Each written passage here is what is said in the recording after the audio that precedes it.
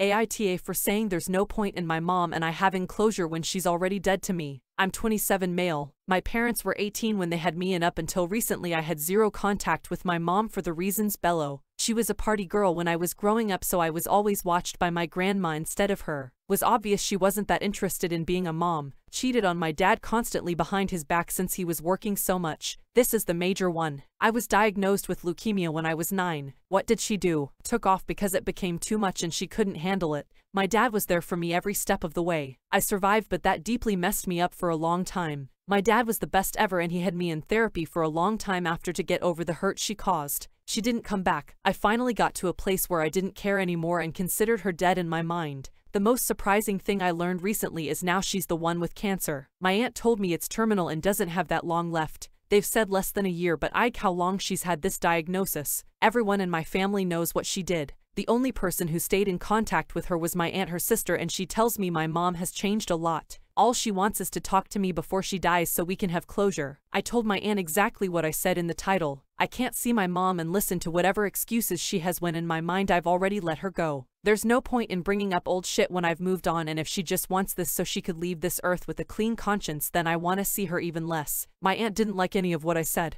We did argue back and forth trying to defend my mom because she is full of regret and it's important to find it on my heart to do this. She's telling everyone now and a lot of them are torn. Some of them get she did the same to me so I don't know her but others are being vocal about how I should be the bigger person, and I shouldn't be talking like that about her. The sad part it's family who I care about saying these things so it's making me feel conflicted if I'm being in a hole. Not that I plan to see her but still these are people who saw what she did to me and are telling me I'm somehow in the wrong. Story 2. AITA for being mean to my father and his wife. My 15 male father 47 male is a piece of shit. He cheated on my mom with his much younger assistant. It was fucking textbook. My mom found out, divorced him and got full custody of me. My dad married his affair partner, but about a year ago, my mom died in a car crash. After her death, I had to go live with my father and his wife, let's call her Stacy. Ever since I started living there, Stacy has had the idea in her head that we'll be a picture-perfect family and she'll be my replacement mom. I don't consider any of them to be my family. One time, Stacy told me that I need to be more friendly to her now that she was my mom.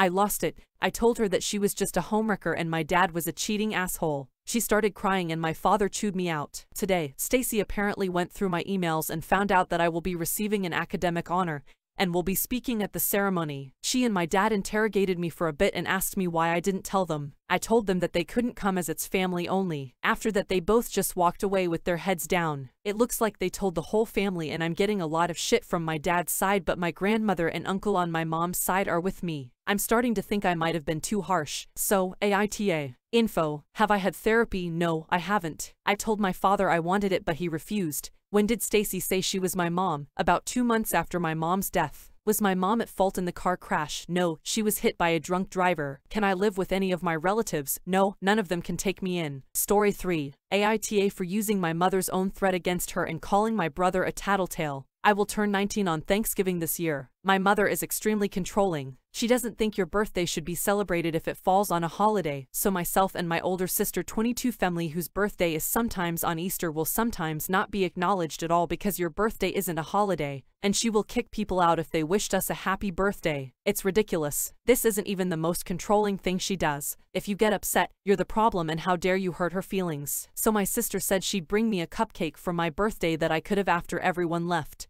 My brother 13 male overheard and told my mother and she kicked up a big fuss about it. She called my sister and they got into an argument. And now my sister isn't coming at all because my mother uninvited her. I miss my sister, so when she invited me to her place instead, I said yes. My brother tattled again and my mom tried to tell me I couldn't go. My sister has offered me a room in her apartment and I'm really tempted to move. I told my mother I was going and she couldn't stop me, and if she threatened to kick me out like she likes to do, I had somewhere to go so let me know if I need to start packing. She just sort of floundered for a minute before turning on the tears. I just walked away. She doesn't want me to move because she needs my extra help with my brother, like driving him places and keeping an eye on him. My brother said I was being an asshole, but I told him if he wasn't always such a tattletale this wouldn't be a problem. I then shut the door in his face. My sister is thrilled I stood up for myself, but I got a call from my grandmother who is also controlling saying I'm being ridiculous and I owe everyone an apology. AITA here. Update. I want to thank everyone for their response. I really appreciate it. I am moving in with my sister this weekend. I'm packing little at a time. I don't want to raise her suspicion or she'll be awful until I leave or try and stop me. I already have my important documents and will leave either Friday night or early Saturday morning. To address a few comments I got about my brother, he thinks it's funny when she yells at me or my sister and consistently tries to get us in trouble because he's her good kid. Story 4. AITA for asking my sister to throw my baby shower party when she is suffering from infertility. This is a confusing one sorry. I 20 female am dating my sister Lucy's 28 female boyfriend Josh 29 male of 3ish years,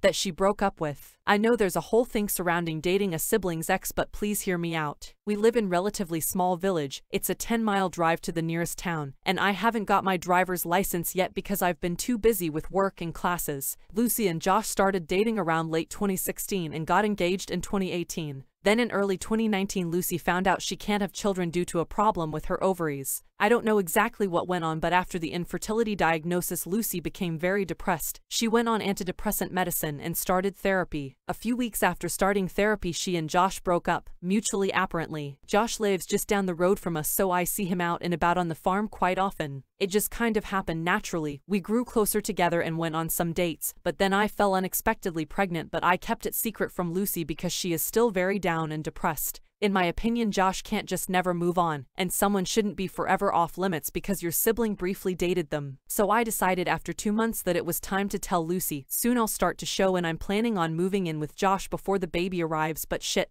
hit, the fan. She's living back at home now and has been since the breakup, and she looks awful. She mostly slouches around in her PJS. I sat her down and said I have some news. I told her I was with Josh and that I'm expecting. I told her it would mean the world to be if she would be godmother to the baby and asked if she would like to plan the shower for me as I know she absolutely thrives on parties. She didn't even react, just asked me to leave I made the point that it's our parents' house. I know on paper this sounds bad, it really does but I should be allowed to live my life and so should Josh. The baby was unplanned and something we couldn't have foreseen. I know that is probably a bit of salt in the wound but I couldn't have helped a complete surprise. I love my sister and want to see her happy but she texted me this morning saying this. Lucy, thanks for letting me know you're dating Josh. Oh, and that you're pregnant with his child. Congratulations, you achieved what I could not. I am in such a bad place and you will never understand. Josh and I agreed I needed time and medication and then we would try again but I guess he never told you that did he? As for your baby shower all I can say is well done, you always were good at telling jokes. I hope you rot in hell you evil bitch. I confronted Josh about this and he admitted it was true but that once we started dating that he fell in love with me. They have been apart for six months now and it is getting tiring I have a baby on the way, and I desperately need her support AITA.